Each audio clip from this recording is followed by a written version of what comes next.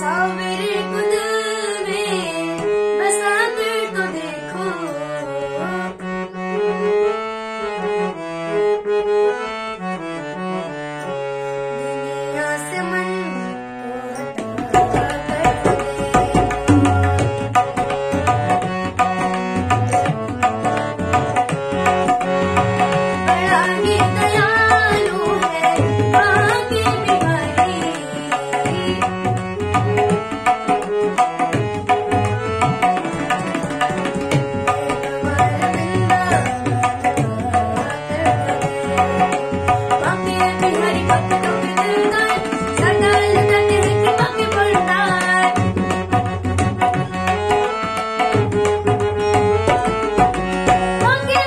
Thank you.